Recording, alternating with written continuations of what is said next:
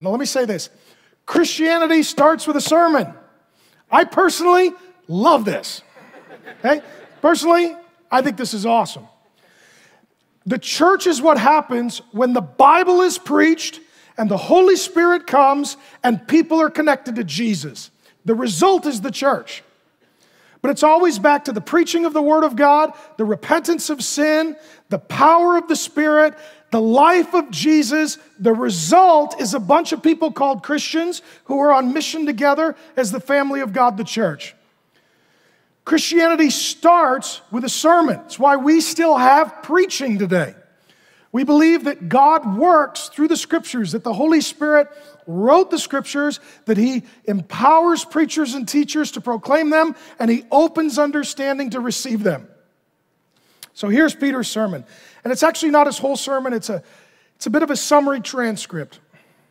Men of Israel, hear these words Jesus of Nazareth. Where does Peter start his sermon? Jesus, I love that. Jesus of Nazareth, that's it. I wonder what he's talking about. Jesus. It starts with Jesus, it ends with Jesus, it's all about Jesus, it's only about Jesus, it's always about Jesus. And the Holy Spirit wants you to know Jesus, you to be excited about Jesus.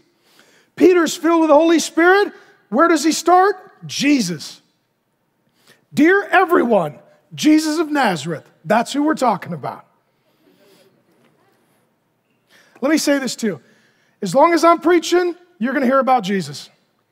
Mars Hill Church, from day one, when we were flat broke, homeless, and poor, we were talking about Jesus. And though many things will change, one thing will never change. The book will be open and Jesus will be proclaimed by the grace of God through the power of the Holy Spirit at Mars Hill Church.